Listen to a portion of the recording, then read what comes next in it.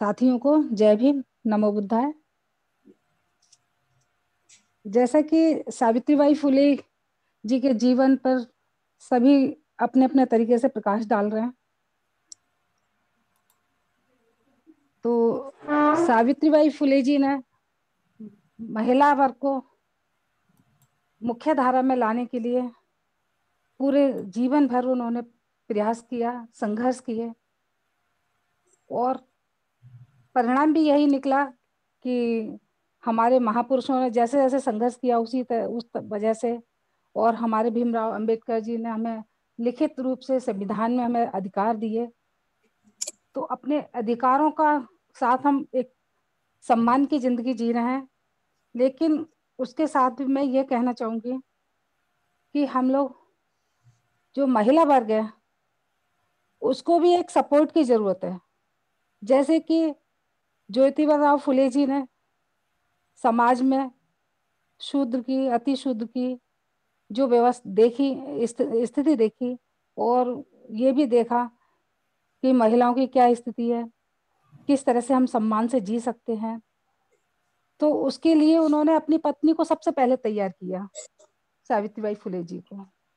उन्हें शिक्षित किया और उन्हें इस लायक बनाया कि वो अपने सम्मान का संघर्ष खुद कर सके और महिला वर्ग के लिए वो एक सम्मान की ज़िंदगी, स्थिति पे ला सके। तो मेरा आज यही कहना है कि हर एक महिला बिना सपोर्ट के वो इस तरह का संघर्ष नहीं कर सकती। क्योंकि हमारे पुरुष भाई हैं, कहीं पे भी आप मीटिंग में जाते हैं, घर से बाहर निकलते हैं उसके लिए जब महिला को आप सपोर्ट नहीं करेंगे, साथ लेके नहीं चलेंगे तो महिला चाह के भी शायद संघर्ष नहीं कर पाएगी। क्योंकि महिला के ऊपर इतनी जिम्मेवारियाँ होती हैं पूरे घर की, बच्चों से लेकर के, पति को लेकर के और घर के परिवार के सारे, सबको लेकर के। क्योंकि हम समाज सेवा के साथ साथ परिवार को इग्नोर नहीं कर सकते। क्योंकि एक समाज एक परिवार से ही समाज बनता है। तो उसके लिए दोनों का एक सहयोग होना बहुत ज़रूरी है। क्योंकि मैं देख रही हूँ पूरे समाज में पुरुषों, वर्ग जो है, अपने वर्चस्व में खुद तो रहना चाहते हैं। अगर इसी तरह से वो अपनी पत्नी को भी साथ लेके चले, अपनी बेटी को भी साथ लेके चले, अपनी घर की महिला को भी साथ लेके चले और उनका बहुत हौसला बढ़ेगा, वो बहुत कुछ कर पाएँगी। और ये भी मैं जानती हूँ कि बिना महिला के आगे आए, बिना महिला को जागरूक किए समाज में परिवर्तन हो जाए नामुमकिन है। मैं ऐसा मानती हूँ। क्योंकि एक महिला में वो शक्ति होती है, वो मल्टी टैलेंटेड होती है।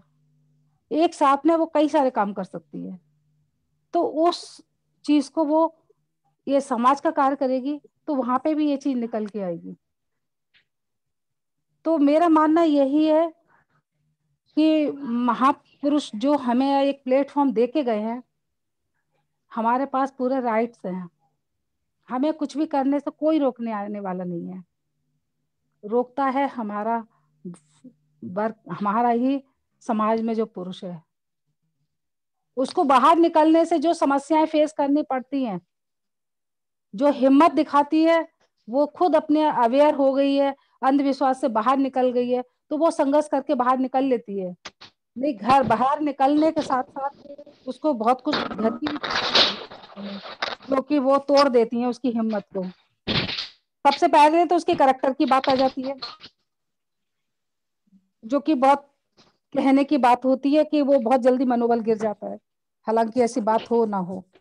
तो कुल मिलाकर मेरा यही तो कहना है। Hello? Hello?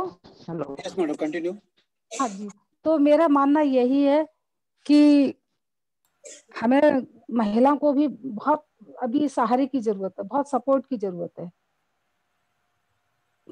क्योंकि महिला की स्थिति वो रही है हमारे महापुरुषों ने तो संघर्ष किया और हमारे पास में लिखित संवैधानिक राइट्स भी है।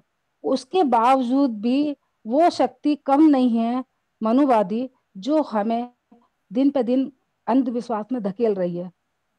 और वो इतनी ज़बरदस्त कड़ियाँ हैं अंधविश्वास की, हमारे दिमाग को इस तरह से जकड़ा हुआ है, महिलाओं के दिमाग को, उसको, उसके दिमाग को ब्रेन वॉश करना थोड़ा सा बहुत मुश्किल सा काम है।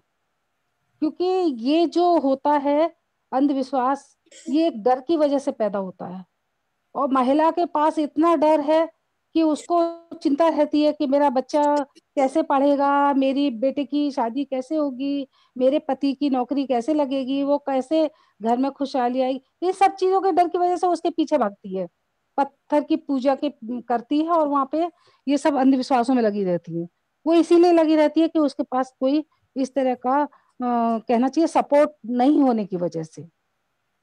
सपोर्ट अगर समाज का मिलता है महिला को, जैसे हम अवेयर हो चुके हैं, हम सक्षम है थोड़े से, और इस तरह का काम हम समाज में जाके करते हैं, जो कमज़ोर वर्ग की महिलाएँ हैं, उनको सपोर्ट मिले थोड़ा सहारा भी बने उनका तो वो डर से धीरे धीरे बाहर निकलेंगी, और डर से बाहर निकलेंगी तो उनका अंधविश्वास भी दूर होगा।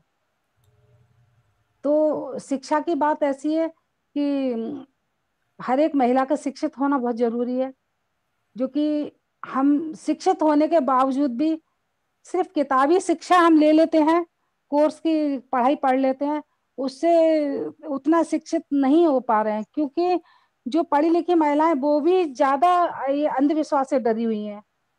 तो उनको बाहर निकालने के लिए तो कुछ अपने महापुरुषों की जो संघर्ष, आदर्श है वो हमारे, उनको लेकर के उनको सामने रखना, उनको अवेयर करना है। तभी वो समझ पाएँगे क्योंकि हमारे महापुरुष भी इसी व्यथा में रहे कि पढ़ लिख के हम ऐशो आराम में चले जाते हैं। क्योंकि हमें मिली है जो भी खुशियाँ मिली हैं, जो भी आज़ादी मिली है हमें, हमारे महापुरुषों की संघर्ष की वजह से मिली है। तो उसके बदले में हमें जो कहना चाहिए पे पे बैक टू सोसाइटी, जो हमें देना चाहिए, उसकी दर थोड़ा कम है। उस दर को हमें बढ़ाना पड़ेगा। क्योंकि आज हमारे पास है वो कर्ज है। उस कर्ज को हमें चुकाना होगा। अगर उस कर्ज को हम लेके ऐसे ढोते रहेंगे तो हमसे ज़्यादा कहना चाहिए क्या क्या कहेंगे इस शब्द को कि बस यही मैं कहना चाहूँगी कि हमें अपना कर्ज उतारना है। पे बैक टू सोसाइटी क्योंकि हमारे पास जो मिला है वो किसी की वजह से है। हमारी खुद की मेहनत नहीं है वो। किसी की वजह से हमारे महापुरुषों ने अगर वो प्लेटफॉर्म हमें नहीं दिया होता, मैं समझती हूँ, मेरे भाई बहन ये कहते हैं कि हम पढ़ लिख गए, हमने मेहनत करी है। अरे हमने मेहनत करी है तो हमारे माँ, पापा, मम्मी दादा दादी क्यों वो बेगार करते थे उनकी? उन, वो क्यों नहीं पढ़ लिख के आगे ये सब पाया उन्होंने? इसलिए नहीं पाया कि उनको रास्ता किसी ने नहीं दिखाया। रास्ता दिखाया हमारे महापुरुषों ने। क्योंकि वो जब तक जो हमारे माता पिता जो बेगार कर रहे थे, उनके वो दबाव में थे।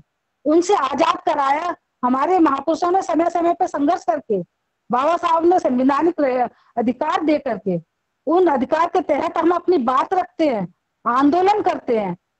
अपनी बात को हम ये रख पाते हैं कि ये हमारे लिए, हमारा अधिकार है, ये हमें चाहिए। तो क्यों चाहिए? क्योंकि हमें हमारे महापुरुषों ने हमें इतना समझा दिया है।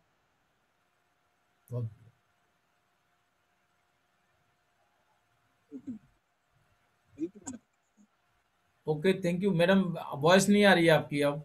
ठीक है next ji. Okay thank you